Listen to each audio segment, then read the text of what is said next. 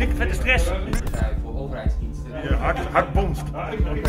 Het gaat hier om een echte dreiging en op dat soort echte dreigingen moet je je echt heel goed voorbereiden. 3, 2, 1.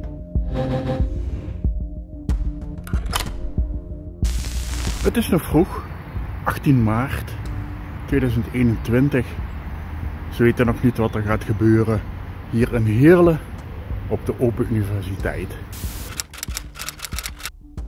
Het was voor de Open Universiteit de eerste keer dat we meededen aan een ozonoefening.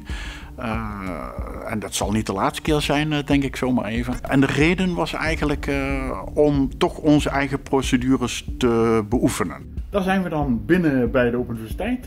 We hebben ons geïnstalleerd in de lounge en we hebben wat schermpjes opengezet. Cybercriminaliteit uh, is aan de orde van de dag en je, en je moet er echt goed op voorbereid zijn. Er deden deze keer zo'n duizend deelnemers mee van zo'n uh, 65 instellingen die uh, echt een hele oefening draaiden. Um, en juist zo'n grote oefening, daarin kan je oefenen uh, wat je hele escalatie is tijdens zo'n crisis. En dat kan je dan ook nog eens oefenen hoe je dat dan met de hele sector met elkaar aanpakt. Iedere oefening dat geeft weer nieuwe inzichten, nieuwe elementen. En dat maakt dat je of iets op het gebied van de techniek met elkaar uh, moet uh, herzien of over na moet denken. Of in termen van het proces, het hele crisisproces zoals je dat aanstuurt. Of in termen, ook heel belangrijk, van, van awareness onder je mensen. We hebben zeker nieuwe inzichten uh, opgedaan. En vooral ook om, uh, kwamen we erachter dat ja, de draaiboeken die we hadden, dat, dat we die toch nog best wel kunnen, kunnen updaten. En dat, we hebben ook een aantal nieuwe collega's. en ja, dan merk je toch ook dat het weer nodig is om op elkaar ingespeeld te raken.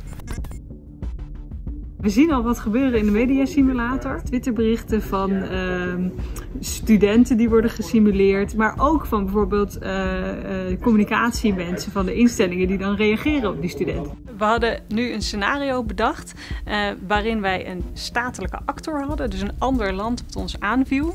Een fictief land, Gilder. En wat was het nou? In Gilder had je ook nog eens twee grote techgiganten, een cloudleverancier en een hardwareleverancier. En die zaten in alle netwerken van alle organisaties in Nederland.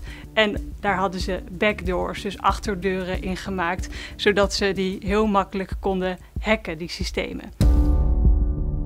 We zien dat een aantal instellingen die beginnen langzaamaan dingen te blokkeren, maar dat helpt helemaal niks, want dan zijn ze natuurlijk te snel. Stel dat bij jullie ze uh, op dezelfde manier worden aangevallen als de Universiteit van Harderwijk. Zijn jullie daarop uh, voorbereid?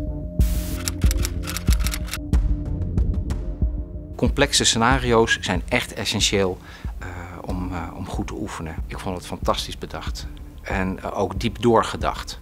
Uh, met veel facetten, met, met, uh, met diepte. In de voorbereiding zat heel veel werk. In al het berichtenverkeer zat heel veel werk.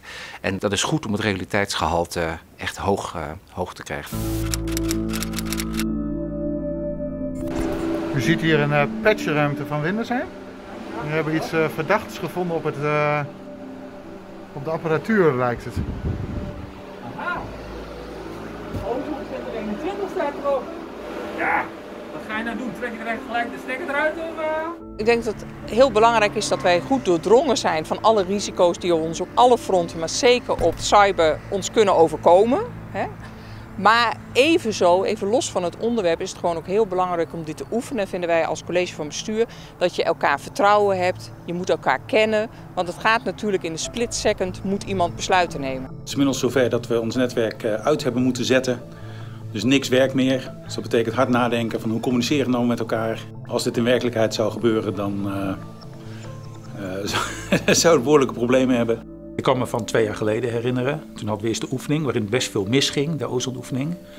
En toen hadden we een paar weken later een echte grote netwerkstoring. En daar konden we direct de lessen gebruiken van die paar weken daarvoor. En dat merkten we nu ook weer. Die lessen van twee jaar geleden, die zaten er gewoon nog in. De les is uh, oefening baart kunst. Uh, dus uh, oefenen, oefenen en nog eens oefenen. want alleen dan wordt het langzaam normaal en bijna een automatisme om hierop te reageren. En dat is wel cruciaal, omdat je dan tijd wint.